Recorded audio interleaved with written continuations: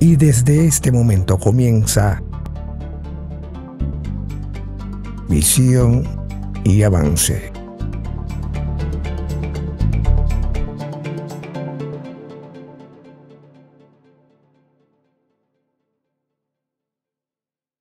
Todos los grandes líderes poseen dos cosas. Una, saben dónde van y dos, pueden persuadir a otros para que les sigan. Saludos a todos y muy bienvenido a este tu programa Visión y Avance, tu fuente de información para crear una visión clara y un avance continuo que te apoya a lograr tus metas. Yo soy Julio Jiménez y te invito a que te quedes con nosotros. Ya regresamos. Ya volvemos con Visión y Avance.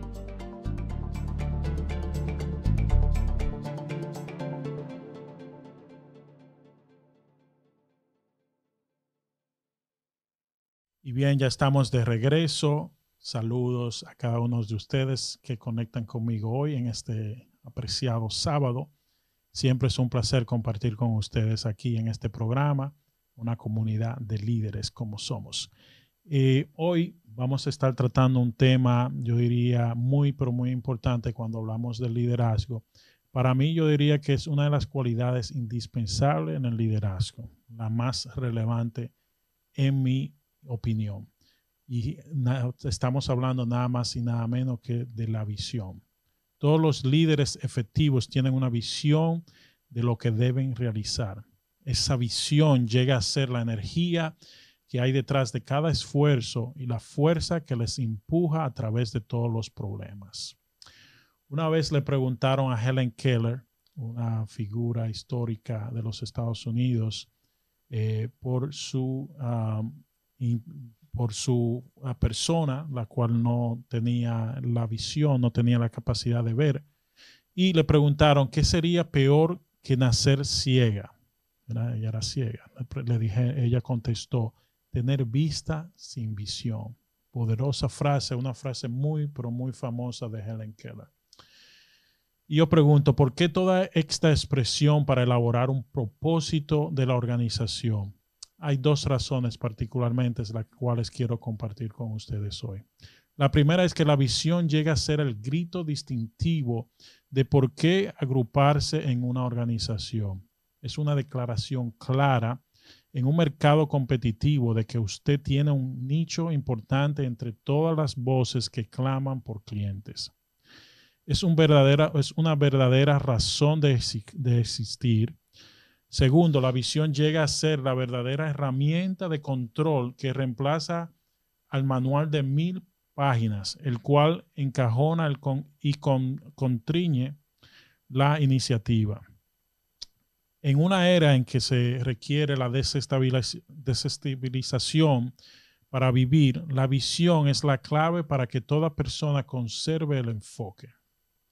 Hay algunas afirmaciones sobre la visión que quiero compartir con ustedes. Yo creo que la visión viene primero. He, conocido muchos líderes particularmente que han perdido la visión y por eso han perdido su poder para dirigir. En otras palabras, la gente depende del estímulo visual para crecer. Empareje una visión con un líder que quiera implementar ese sueño y comenzará un movimiento.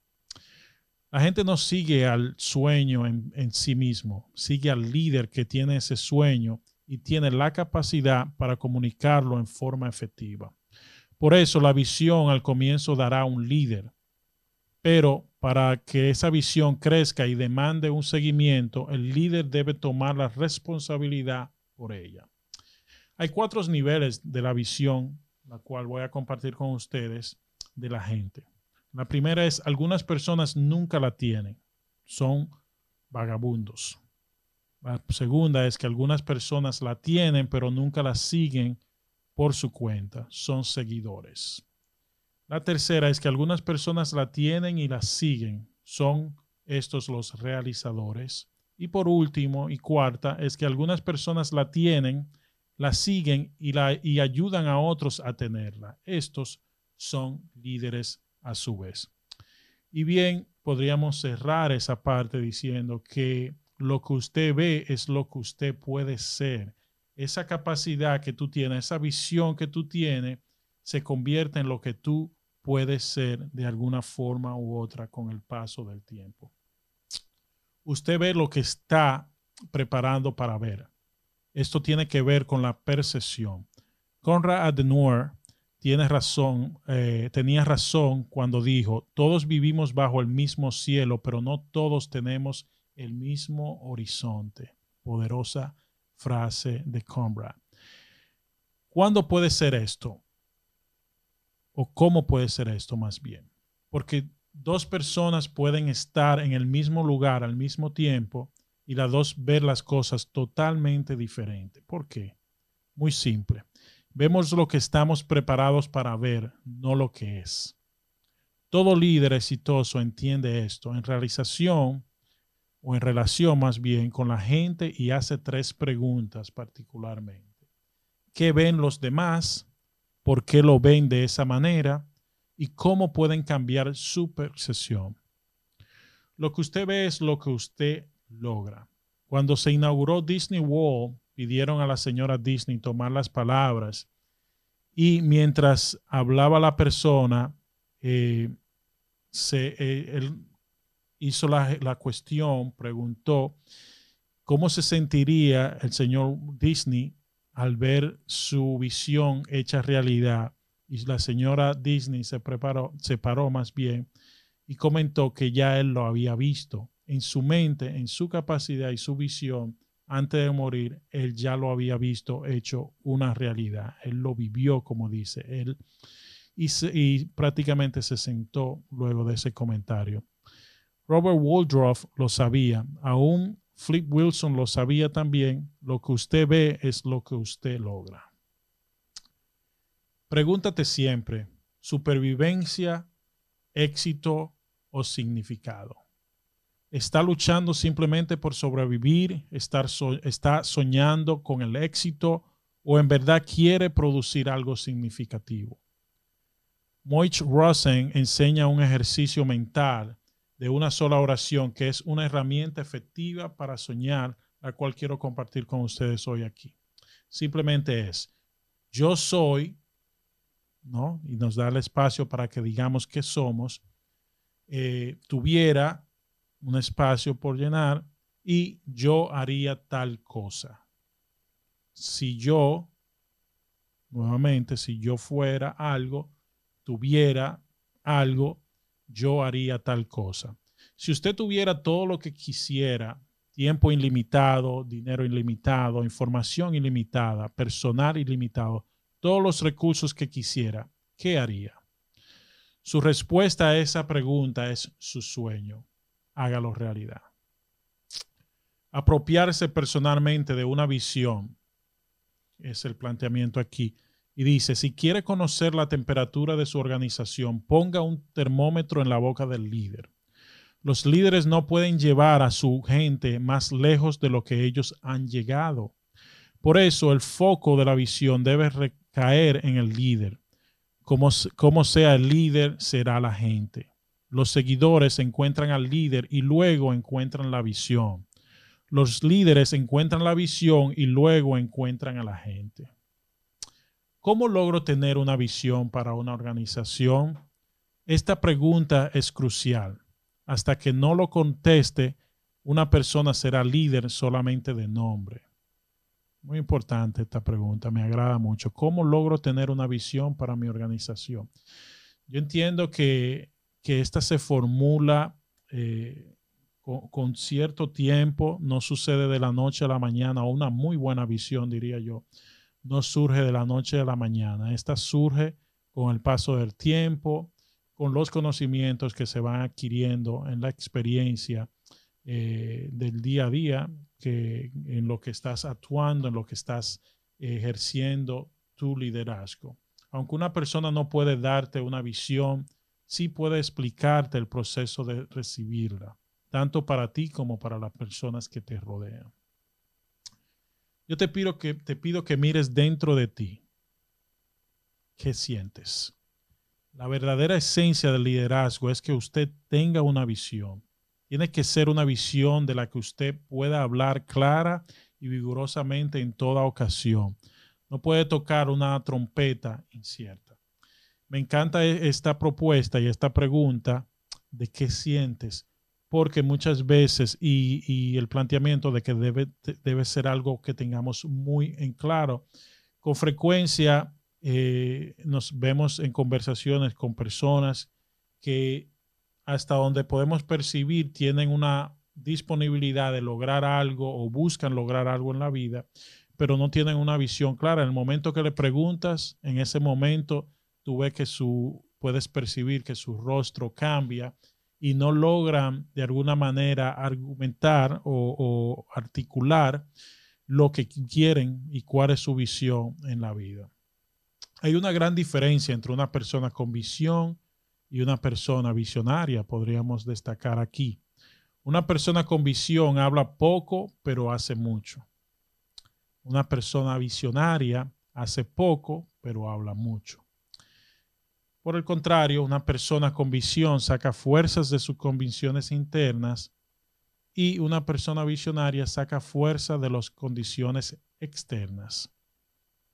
Una persona con visión continúa aún cuando surjan problemas, mientras que una persona visionaria se detiene cuando camina eh, o se, encuentra con una situación difícil en el camino. Bien, y vamos a ir a una breve pausa, pero a regresar vamos a entrar en la segunda parte de este contenido tan valioso que es la visión del líder. Ya regresamos. Ya volvemos con visión y avance.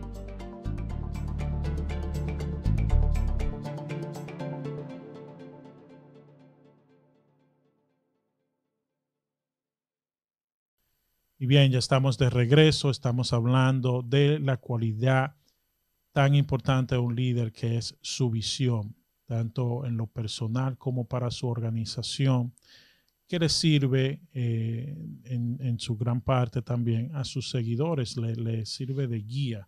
Siempre he considerado esto un aspecto muy, pero muy importante en toda organización y eh, en una cualidad indispensable de, todos los líderes.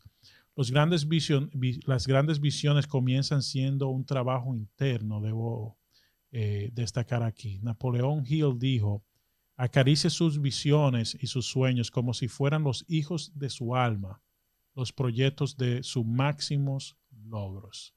Lo leo nuevamente.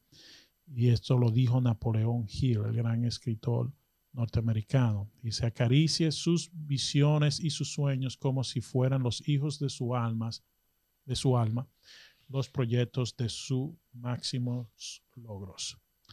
Mira hacia atrás, te voy a invitar a que mires hacia atrás en tu pasado, ¿qué has aprendido? Una persona sin experiencia concibe una visión de una manera idealista. Para ese individuo la visión solo, sola es suficiente. Ingenuamente esta persona echa la visión sobre otros, esperando que el sueño haga el trabajo y no se da cuenta de que la visión necesita apoyo. Hay principios, de hecho, sobre la visión. La credibilidad de una visión la determina el líder. La aceptación de una visión la determina el presentarla en el tiempo oportuno. El valor de una visión la determinan la energía y la dirección que conlleva. La evaluación de una visión la determina el nivel del, compromiso de la gente. Y por último, el éxito de una visión la determina el apropiamiento de esta tanto por parte del líder como de la gente. Ahora bien, te voy a pedir que mire a tu alrededor. ¿Qué les pasa a los demás? Una buena idea llega a ser grande cuando la gente está lista. El individuo que se impacienta con las, con las personas desempeñará un liderazgo defectuoso. La evidencia de la fuerza no radica en, el, en correr hacia adelante, sino en adaptar su paso al paso más lento de los demás, siempre y cuando no pierda la dirección. Si corremos muy adelante, perderemos nuestro poder de ejercer influencia. Ahora bien, te pido que mires hacia adelante. ¿Cuál es el gran cuadro que se presenta ante ti? Este asunto a menudo separa a los líderes de los administradores. Los líderes se preocupan por los propósitos básicos de la organización, por qué existe y qué debería lograr. No se preocupan por el cómo hacerlo o por los aspectos prácticos de la operación. Mira hacia arriba ahora. ¿Qué espera Dios de usted? El don de Dios para mí es el potencial, el potencial que, es, que te ha dado, que yace dentro de ti. Mi don para Dios es lo que yo hago con ese potencial. Creo que los grandes líderes tienen un, llamamiento más alto, uno no que, que les eleva por encima de sí mismo. Qué terrible desperdicio de vida subir la escalera del éxito solamente para descubrir cuando se llega arriba que estaba apoyada contra el edificio equivocado. Las grandes visiones van más allá de la persona que las tiene. Y es ahí donde en ocasiones me, encuentro ante ciertas propuestas y, y, digo que es favorable adherirse al propósito más que a una idea particular o verse frenado por algunos desafíos. Cuando te adhieres al propósito de tu visión, entonces esa, esa, esa visión trasciende con el paso del tiempo y mucho más allá de cualquier dificultad que puedas tú encontrar en el camino. Te pido que mire a, a tu lado. ¿Qué recursos tienes disponibles? Una visión tiene que ir más allá de la persona que la tiene. Realizarla debe ser el resultado de la aportación de recursos por parte de muchas personas. El líder experimentado siempre busca a otros para hacer sus sueños realidad. El líder continuamente transmite la visión a los que le rodean, sabiendo que los sueños, si son debidamente presentados, son contagiosos el apropiamiento de una visión por parte de una corporación. Una visión es un cuadro claro de lo que el líder ve, eh, ve ser y, hace, y hacer a su grupo. Un hecho es verdad, los líderes que comunican eh, metas a sus seguidores en forma efectiva logran más que los que no lo hacen. Los líderes exitosos ven en tres niveles particularmente. El nivel número uno es la percepción, ver lo que es ahora con los ojos de la realidad. El nivel dos es la probabilidad, ver lo que será con los ojos del discernimiento. Y el nivel tres es la posibilidad, que es ver lo que puede ser con los ojos de la visión. Un futurista ve solamente en el nivel 3. Un uh, vaticinador ve solamente en el nivel 2 y un seguidor ve solamente en el nivel 1. Finalmente, quiero decirles que un líder vive en el nivel 3, dirige en el nivel 2 y escucha en el nivel 1. Definitivamente, cuando contemplamos todo lo que estamos aquí viendo de la visión, eh, nos damos cuenta del gran valor que tiene esto para toda organización y liderazgo.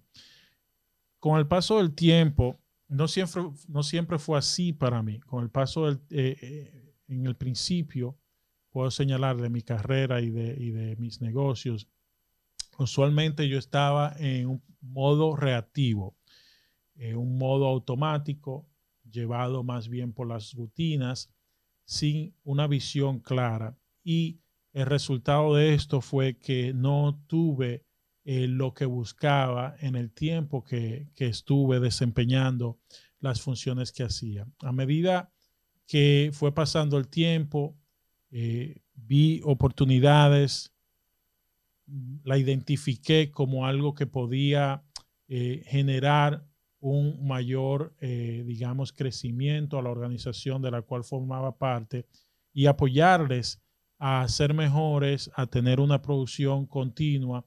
Y esa visión poco a poco fue creciendo en mí y, pude transmitirla a personas en mi equipo que colaboraban conmigo, a tal grado que hoy por hoy simplemente eh, es lo que rige todo lo que se hace. Ese interés de, contribuir de manera eh, plena no, nos ha llevado a, prácticamente a lograr cada una de esas metas que en un momento eh, se presentaban como, como situaciones inciertas en la empresa, no sabíamos qué iba a ser de, digamos, del mañana con X determinadas eh, situaciones que se presentaban con equipos de, producción, pero que con el paso del tiempo nuevamente y con el interés que pusimos y, la determinación clara, nuestra visión clara de lo que queríamos lograr, que pudimos finalmente eh, ir uno a uno resolviendo esos asuntos y creando un ambiente donde a su vez dio espacio a que otras personas pudieran sumarse a la organización y apoyarnos en esa visión.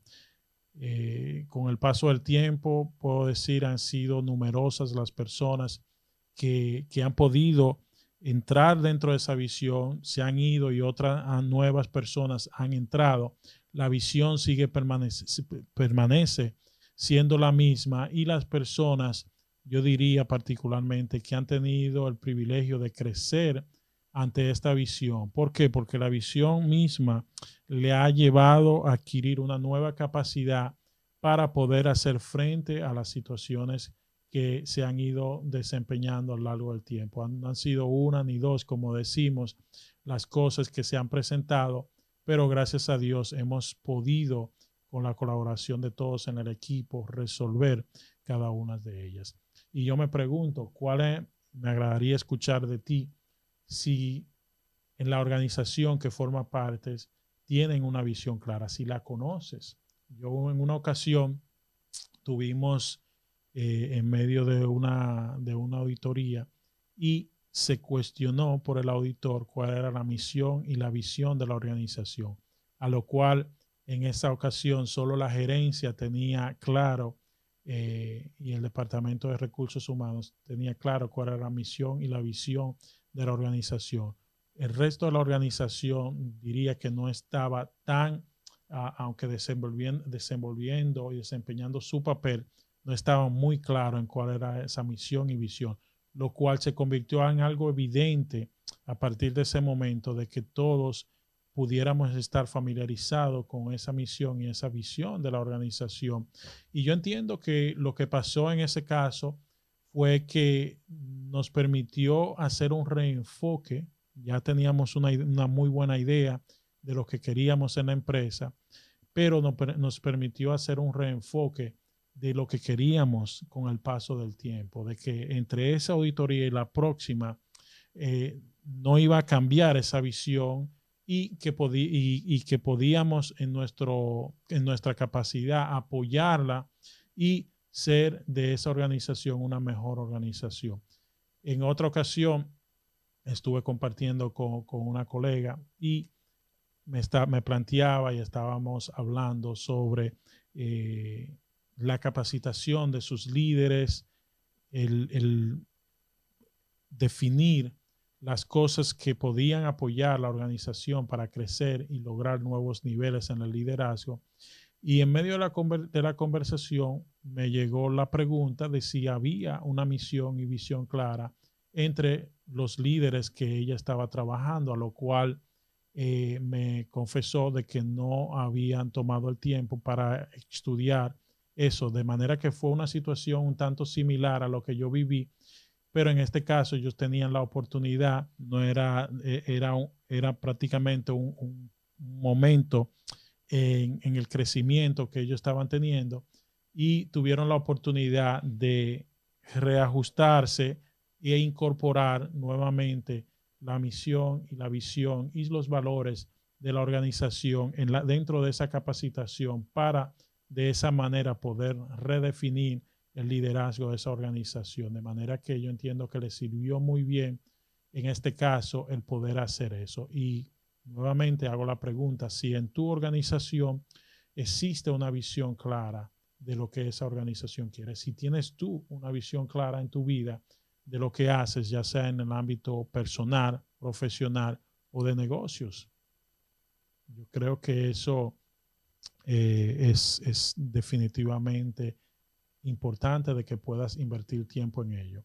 De hecho, me llega a la mente que hablaba justo con alguien hoy y, teníamos, estaba apoyándole a, lo que era una licitación y la persona prácticamente buscaba algo particular y una cotización en este caso, pero el artículo en sí no era, no estaba claro, había un aspecto de ello, no estaba claro, pero a medida que fuimos trabajando en lo que se quería y, estudiando los detalles, pudimos darnos cuenta de que la respuesta a la pregunta estaba justo en la pregunta. Eh, fue muy interesante ese proceso y yo entiendo que eso es algo de lo que sucede con cierta frecuencia una vez que conocemos claramente la visión, que a medida que la, la exploramos nos damos cuenta de las cosas que tenemos en sí y de las cosas que carecemos para ser mejor, eh, tanto en lo personal como a nivel de organización. Nada, eh, espero que compartas conmigo cuál es tu experiencia en materia de visión en tu liderazgo y en tu organización. Puedes comentar, estaré respondiendo a esos comentarios eh, durante el programa. Y nada, siempre un placer estar y conectar con cada uno de ustedes hoy. Les doy las gracias si es tu primera vez que conectas con nosotros, no olvide suscribirte al canal y darle a esa campanita para que puedas recibir notificaciones cada vez que tengamos una nueva programación. Eh, tenemos programaciones durante toda la semana, eh, diversos programas de aspectos muy importantes, sociales y personales, eh, de manera que te invito a que conectes con nosotros. Ya eh, esa es la parte que quería hoy traer con ustedes. Nuevamente, que tengan todos un muy, pero muy buen día. Les invito y les mando, les invito a, que escuchen el programa nuevamente si así eh, buscan para adquirir mejor los conocimientos que he compartido con ustedes hoy. Y les invito, les envío un fuerte abrazo. Hasta luego, que tengan todos un muy, pero muy buen día.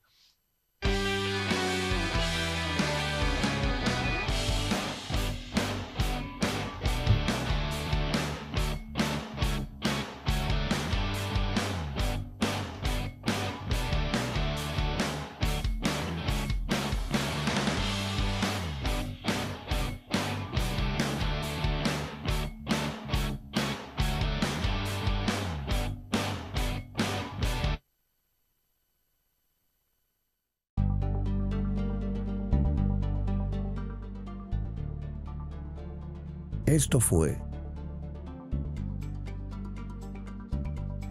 Visión y Avance.